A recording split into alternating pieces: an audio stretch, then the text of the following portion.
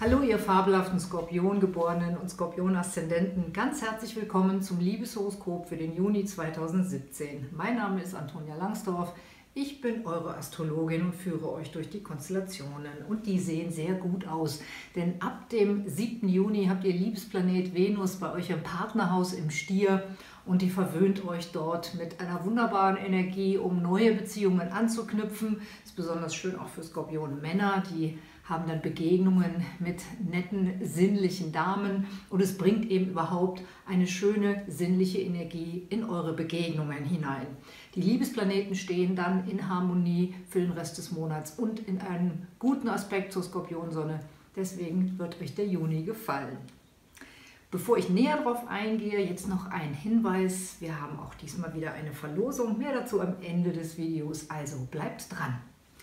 Euer Erlebnishintergrund, also die Aspekte, die langfristig auf euch wirken, ähm, da habt ihr vor allen Dingen zwei wichtige und durchaus positive Aspekte. Zum einen das Trigon von Romantikplanet Neptun, der steht sehr günstig zur Skorpionsonne, der steht hier für euch in den Fischen, in eurem fünften Haus der Liebe, Sexualität, der Affären und bringt da eine sehr schöne Flirt- und Affärenenergie hinein.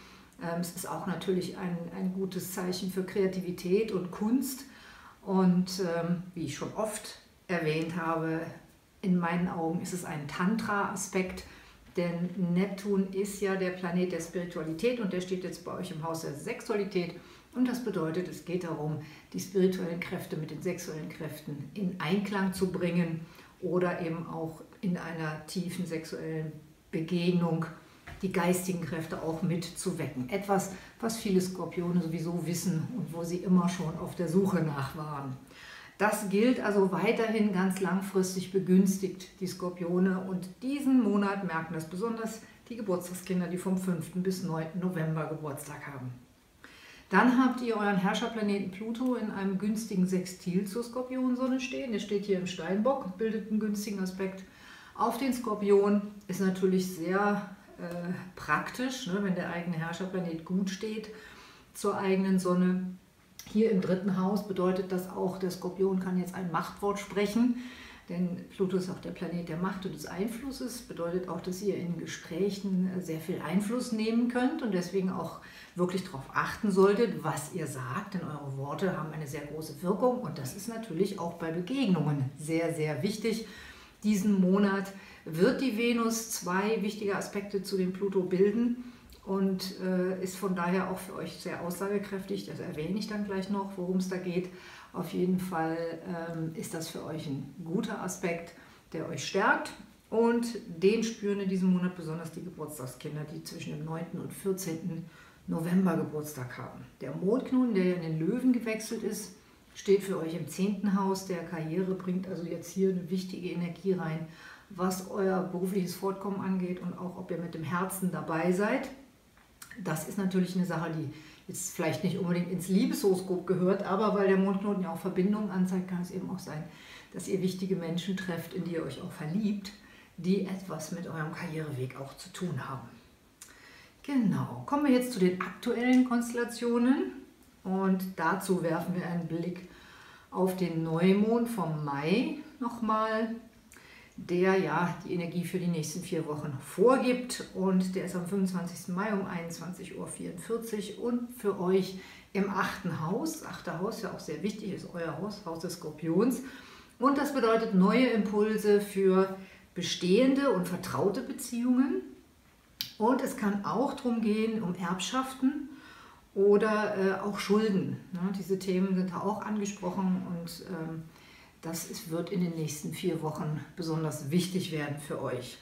Dann hatte ich ja in der kosmischen Schwingung eben davon gesprochen, dass mit dem Neumond auch ein Zurückweisungserlebnis verknüpft sein kann. Das könnte jetzt, ist für euch halt wichtig, weil das hier der Aspekt ist mit der Venus zum Pluto. Und äh, das könnte jetzt für euch eine Zurückweisung sein, die äh, mit der Jobumgebung zu tun hat. Vielleicht hat sich ja auch ein Flirt im Büro entwickelt, wo äh, es jetzt erstmal eine Zurückweisung gibt. Aber wenn die Venus dann erstmal in den Stier gegangen ist, in euer Partnerhaus, kann sich da dann auch ein Happy End entwickeln. Ja, so viel zum Neumond. Kommen wir jetzt zu den Konstellationen im Juni. Es geht los natürlich mit der Sonne in den Zwillingen am 1. Juni, eben bei euch im achten Haus, im Haus der festen Partnerschaften. Die Venus steht im Jobhaus, also Arbeitsumgebung, Büro, Alltag, also vielleicht ein Flirt im Büro oder auch ein Flirt im Alltag könnte sich da ergeben. Der Merkur steht im Zeichen Stier in eurem Partnerhaus. Das begünstigt schon mal Begegnungen und Gespräche. Und der Mars steht auch in eurem achten Haus, also da kann es auch durchaus Querelen geben in der einen oder anderen festen Beziehung bei euch oder eben es nötig werden, etwas hitzige Aussprache zu führen. Da müsst ihr dann eventuell auch ein bisschen aufpassen, ne, dass ihr da nicht zu hart auftretet. So, ab dem 4. geht dann der Mars in einen günstigen Aspekt zur äh, Skorpionsonne, nämlich hier im 9. Haus, dann ist der Mars im Krebs und damit in einem stärkenden Aspekt zum Skorpion. Das begünstigt alle Formen von Plänen, die man macht, wo man aber auch dann so eine Aktivität reinbringt. Das kann auch eine gute Zeit sein zum Verreisen, weil äh, der Mars ja wirklich auch Energie da reinbringt, besonders ans Meer oder an Gewässer. Also wenn ihr in den nächsten Wochen verreisen wollt und ein Plätzchen am Wasser findet, würde euch das besonders gut tun. Und ihr könnt eben vielleicht auch auf Reisen jemand Interessantes kennenlernen. Dann Sicherlich der wichtigste Aspekt für diesen Monat ist eben, wenn die Venus dann in euer Partnerhaus geht, im Zeichen Stier. Das begünstigt alle Formen von Beziehungen, Begegnungen. Für Skorpion Männer sind das süße Damen, die in ihr Leben treten können. Und aber überhaupt, weil es der Planet der Beziehung ist und auch noch im Stier besonders stark steht, bringt es eben überhaupt eine gute Energie in euer Beziehungsleben und begünstigt neue Begegnungen, dass die sich dann auch zu Beziehungen entwickeln können. Und diesen Aspekt genießen die Geborenen der ersten Dekade bis zum 17. Juni. Durch die zweite Dekade läuft die Venus dann bis zum 26. Juni und bis zum 4. Juli durch die dritte Dekade. Also da habt ihr alle was davon. Dann habe ich einen Top-Tag, auch gleich am 6. für euch. Äh, da ist der Mond nämlich dann auch im Skorpion. Und da beginnt das Venus-Mars-Sextil. Das heißt, die Planeten, die jetzt für euch beide im guten Aspekt stehen, stehen untereinander auch noch gut. Und das begünstigt natürlich auch jede neue Begegnung, jeden Flirt ähm, und jeden äh, Austausch, der eben so ein bisschen sweet ist und der der Liebe dient. Genau. Ja, dann geht es weiter. Ach so, und dieser schöne Aspekt hält übrigens noch bis zum 9. an. Ne? Da habt ihr also auch ein paar Tage lang was von. Am 7. Juni geht dann der Merkur auch in die Zwillinge, auch ins achte Haus. Kann also auch sein, dass da Gespräche jetzt über Geld, über eure gemeinsamen Werte in Gang kommen. Und am Freitag, den 9., haben wir dann den Vollmond. Und der ist für euch dann auch wieder auf dieser Achse betont, die Achse achtes Haus, zweites Haus. Und damit eben auch wieder das Thema euer Selbstwert, euer eigenes und das der anderen oder eben auch die gemeinsamen Werte, wie sich da jeder einbringen kann. Und vielleicht hast du eben mit diesem Vollmond eine Erkenntnis darüber, wie du deinen persönlichen Selbstwert stärken kannst, indem du zum Beispiel alte Schulden bezahlst oder dich verstärkt für gemeinsame Werte einsetzt. Übrigens Vorsicht, wenn dich schräge Freunde bitten, ihnen Geld zu leihen. Das wäre hier Lilith im zweiten Haus. Das, da ist nicht gesagt, ob du das jemals wiederbekommst. Okay, dann haben wir noch einen Top-Tag am Freitag, den 16. Da haben wir nämlich sehr, sehr schön hier den Mond zusammen mit Romantikplanet Neptun im fünften Haus der Affäre betont also da nochmal die Energie und die Chance, entweder eine neue Affäre anzufangen oder eben in eine schöne Liebesaffäre eine schöne Energie reinzugeben, weil es ein Freitag ist, kann man sich da ja vielleicht dann auch abends mal Zeit für die Liebe nehmen.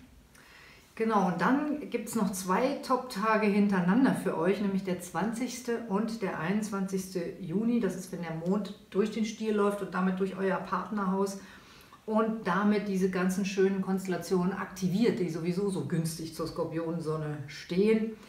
Ähm, und das ist einfach sehr sexy und kuschelig für euch. Ne? Und hier aktiviert der Mond dann eben einfach auch nochmal die Chance, eine Liebesbegegnung zu haben. Und das gilt dann 20. und 21. Dienstag und Mittwoch ist das. Ne? Seht mal zu, dass ihr euch da ein bisschen Zeit für eine nette Begegnung nehmt. Und ähm, das kann auch wirklich eine tiefe Begegnung werden, weil der Mond dann auch den Pluto noch aktiviert, während er durch den Stier läuft. Und der steht ja auch günstig zur Skorpionsonne. Und Pluto geht. Das heißt ja, dass es in die Tiefe geht. Vielleicht findet ihr da auch die richtigen Worte, um jemanden komplett zu verzaubern. Am 24. der Neumond ist eigentlich auch noch ein Top-Tag für euch. Äh, einfach weil der Neumond sehr günstig zur Skorpione-Sonne steht. Seht ihr hier, habt ihr hier nur blaue Aspekte. Alles schöne harmonische Aspekte und die Venus in Rot, aber weil es eine Opposition ist und die steht auch gut für euch. Also top, top, top. Und dieser Neumond äh, steht ja im neunten Haus der Pläne und deswegen ist das also ein, ein super Datum, um diesen Neumond rum vielleicht dann im Wochenende Pläne zu machen für die nächsten vier Wochen, für die weitere Zukunft ähm, Liebespläne, aber auch für euer persönliches Leben, weil ja eben der Mondknoten im 10. Haus steht und deswegen auch diese Karriere- und Berufungsthemen super wichtig werden. Ne? Also ähm, diese Konstellation ist auch gut für langfristige Pläne und außerdem tiefschürfende Gespräche darüber. Ne? Der Merkur ist ja dann eben auch dabei. Ja, und dann habt ihr am Donnerstag, den 29. auch noch eine sehr schöne Konstellation. Ähm, da steht der Mond nämlich dann in der Jungfrau und aktiviert hier in positiver Weise Pluto, ne, tief schürfende Gespräche und dann hier auch die guten Planeten. Da bildet sich dann hier so ein Briefumschlag, wenn sich dieser Aspekt, der ist jetzt nicht ganz genau, aber wenn man den sich hier mitdenkt, dann heißt das, dass es hier sehr harmonisch für euch läuft. Und hier ist eine Spannung drin. Ähm, mit, mit Mars, da muss man vielleicht auch ein bisschen aufpassen aber die bringt natürlich auch so eine Tiefe rein und so eine Würze, dass man wirklich äh, so richtig tief eingeht und drüber nachdenkt, was ist für mein weiteres Leben wichtig. Und die anderen Planeten stehen eben in Harmonie dazu. Das ist für euch auch nochmal eine sehr, sehr spannende Zeitqualität. Ja, meine Lieben, soweit die Konstellationen für euch im Juni, sind sehr, sehr vielversprechend. Und wenn ihr mehr über euer persönliches Horoskop wissen wollt, vielleicht auch über den interessanten Mondknoten, dann könnt ihr natürlich jederzeit eine Beratung bei mir buchen, auch gerne einfach direkt über die Webseite. Da steht alles drauf, kann man rumklicken und die Beratung gleich buchen und bestellen. Und wie das mit der Verlosung geht, für die, die es noch nicht wissen, ich freue mich über eine nette Bemerkung hier auf YouTube. Schreibt mir was Nettes und abonniert bitte meinen Kanal dann seid ihr bei der Verlosung dabei. Außerdem noch ein Tipp, nehmt doch einfach an meinem nächsten Webinar Antonias Sterne teil. Da beantworte ich auch für jeden Teilnehmer eine Frage zum persönlichen Horoskop. Also dann, ihr Lieben, alles Gute mit den Sternen.